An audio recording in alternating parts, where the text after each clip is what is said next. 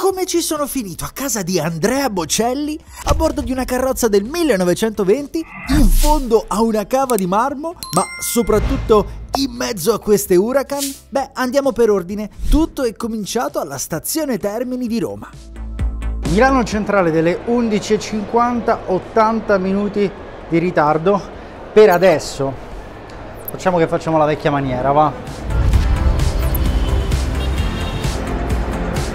E la vecchia maniera in questo caso è la GLE Coupé Restyling 2023. Niente male.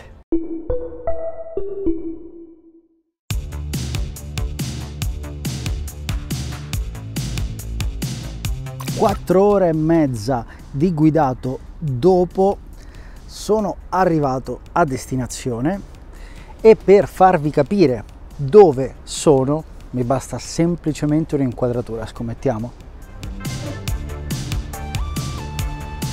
Beh, niente male, eh?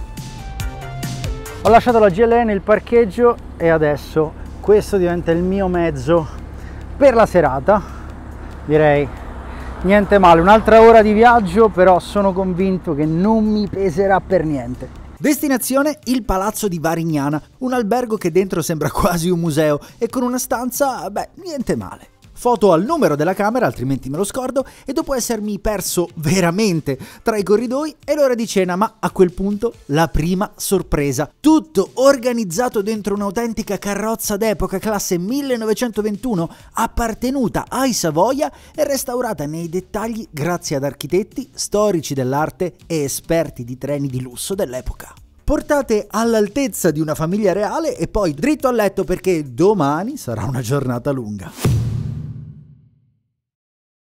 ore 7.34 del mattino e stiamo per partire. Sì, ma per dove e per fare che cosa?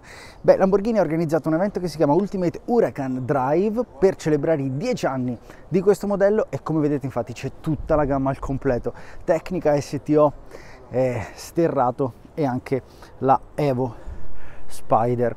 Faremo circa 600 km partendo da qui vicino a Sant'Agata Bolognese e poi raggiungendo la Toscana e poi il giorno successivo tornando indietro. Io comincio proprio con l'Asterrato e il resto facciamo che ve lo racconto direttamente in movimento.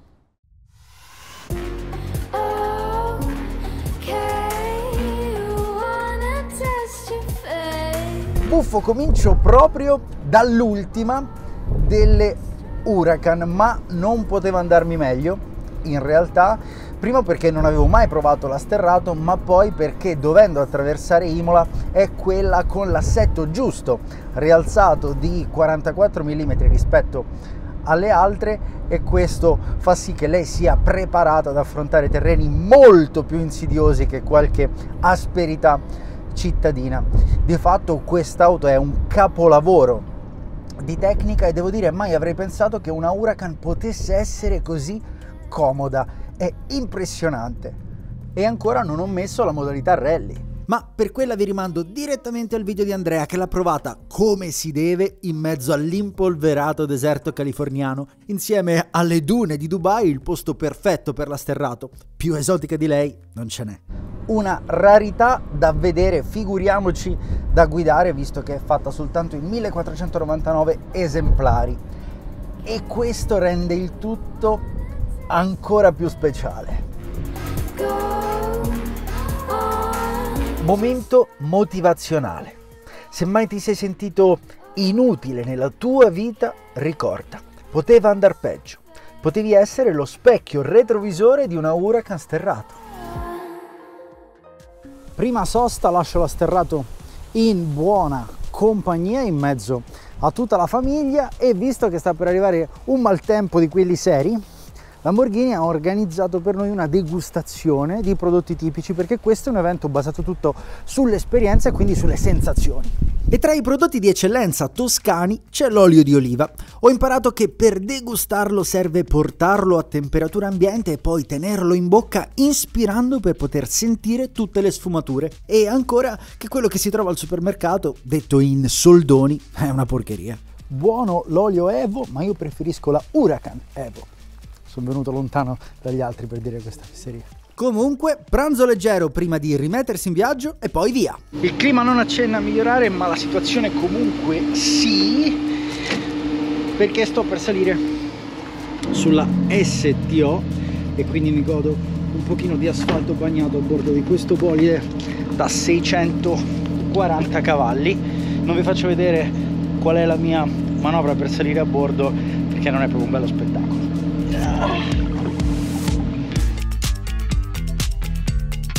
Rispetto all'asterrato lo senti da subito che questa è un'arma da pista. Rigida, brutale, furiosa, la super trofeo omologata è l'anello di congiunzione tra strada e circuito. Non sono solo quei 30 cavalli in più, qua la trazione è solo sulle ruote dietro e la dieta a base carbonica la fa scendere a 1339 kg di peso a secco. Coi paddle al volante sembra quasi di sparare le marce del 7 rapporti doppia frizione, colpi che vanno sempre a segno. Ma se c'è una cosa che mi ha lasciato a bocca aperta è la potenza dell'impianto frenante carboceramico. Per capirci, per passare da 100 orari a 0 bastano 30 metri. Assurdo. E questo ti rende confidente anche quando il tempo fuori vorrebbe metterti i bastoni tra le ruote e invece non sa che ti sta solo facendo un favore.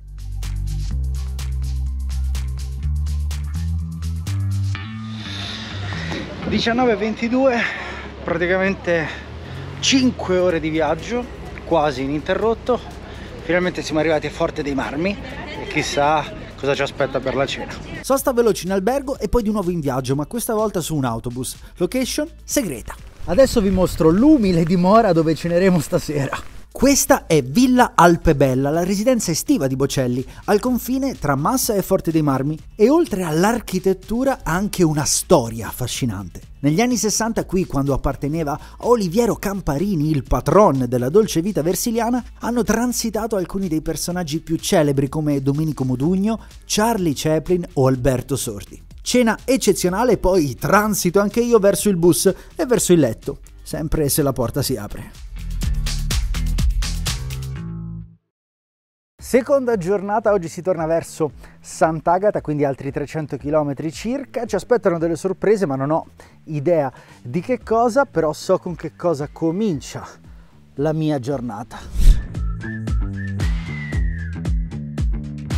Dieci anni, uh, dieci anni e non sentirli, non sentirli affatto. Questa è l'ultima incarnazione della Huracan, sterrato a parte, e cioè la tecnica ed è un esempio perfetto di come un progetto studiato nei minimi dettagli sin dall'inizio possa resistere bene, anzi benissimo direi, al passare del tempo. Anche qui stesso motore delle altre sorelle, quindi il V10 5002 aspirato, ma la potenza è quella della STO, quindi 640 cavalli 565 Nm di coppia, 0-100 in 3,2 secondi e velocità massima di 325 km orari. E come sull'STO anche qua la trazione è soltanto sulle ruote posteriori che tra l'altro sono sterzanti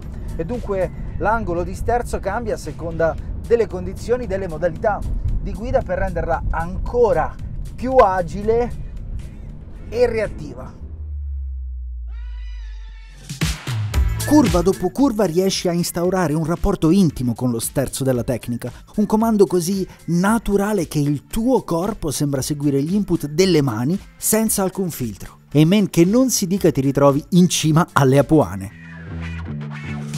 12 gradi e mezzo, niente male per temprarsi di prima mattina e darsi una bella svegliata a parte che io mi sono già svegliato col suono di questi V10 pazzeschi ma devo dire anche con i V8 delle Urus che ci accompagnano. E adesso parte una spedizione. Ancora segreta non ci hanno detto cosa faremo però considerando che siamo sulle montagne eh, sopra Massa Carrara e che vedo dei Defender vecchia scuola laggiù diciamo che qualche indizio ce l'ho, anzi, se poi leggo sulle fiancate Marble Tour, direi che non ci sono più dubbi. Defender è strada a strapiombo per arrivare qua a Cava Valsora, un'oasi naturale formata dall'acqua piovana a circa 900 metri d'altezza, habitat perfetto per il tritone alpeste apuano. E seguendo il tour guidato nel cuore della montagna dove filtra l'acqua pura della superficie, ho imparato un po' di cose. Io ho decisamente sbagliato scarpe. E poi come si taglia il marmo, cioè con un enorme filo interdentale di metallo diamantato che di fatto sarebbe in grado di affettare in due una montagna. Solo che è meglio non esagerare con la dimensione dei blocchi perché poi vanno trasportati e, ecco un'altra cosa che ho imparato, il marmo ha un peso esagerato. Un solo metro cubo pesa 2600 kg, per intenderci parecchio più di una Urus. A proposito, è tempo di rimettersi in viaggio, questa volta verso Sant'Agata.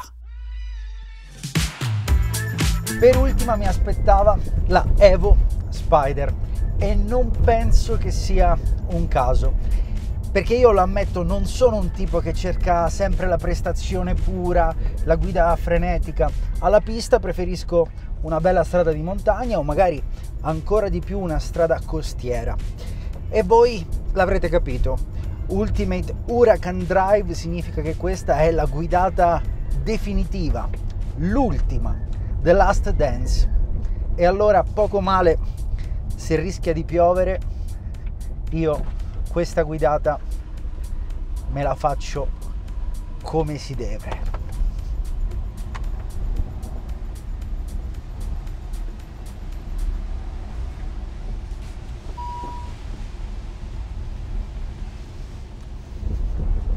E con la Spider ho danzato col suo migliore abito perché qua le sensazioni sono portate su un altro livello, quello del vento sul viso, anche della pioggia nel mio caso, e del rombo del 5002 che ti fa vibrare i timpani come il migliore dei concerti rock.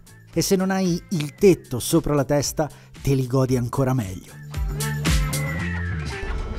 Ma si sa, dieci anni sono tanti per un'auto, anche per una supercar, e oggi è come se il futuro ci venisse eh, incontro più velocemente, come se il 2024 fosse già dietro la prossima curva.